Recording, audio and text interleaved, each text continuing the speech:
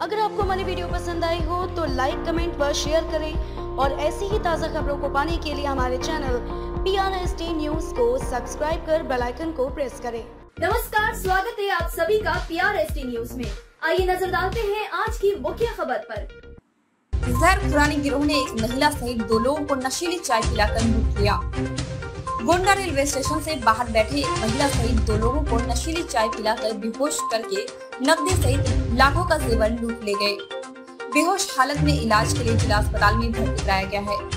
कोतवाली देहात थाना क्षेत्र के हनुमत नगर बालपर गाँव के निवासी साठ वर्षीय प्रेमनाथ कुटुदया प्रसाद और परसपुर थाना क्षेत्र के सुसंडा गाँव के निवासी साठ वर्षीय लीलावती पत्नी केदारनाथ को जहर खुरानी गिरोह ने नशीली पदार्थ खिलाकर लूट लिया। प्रेमनाथ ने बताया कि वह जलंधर जाने के लिए गोंडा रेलवे स्टेशन के बाहर दोनों लोग बैठे थे।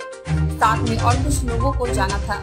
उन्हीं लोगों का इंतज़ार बैठकर कर रहे थे। दो लोग आए और चाय पी रहे थे। हम लोगों को भी जबरन चाय पिला दी, जिससे हम दोनों लोग बेहोश हो गए। प्रेमनाथ ने बताया कि उसके पास करीब पाँच हज़ार रूपए नकद थे, जिसको लूट लिया गया।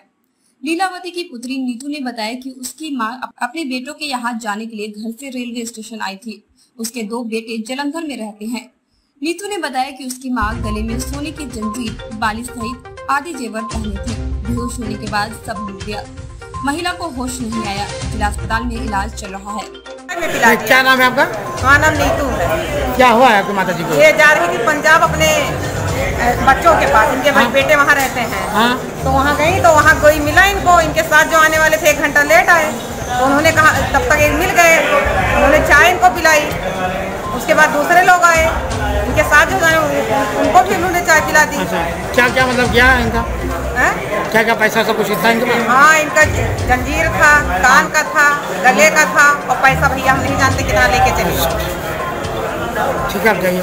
फ़िलहाल के लिए बस इतना ही। अगली खबर में फिर मुलाकात होगी। तब तक के लिए देखते रहिए प्यार एस टी न्यूज़। आप हमारी वेबसाइट पर भी विज़िट कर सकते हैं। हमारी वेबसाइट है www.prstnews.in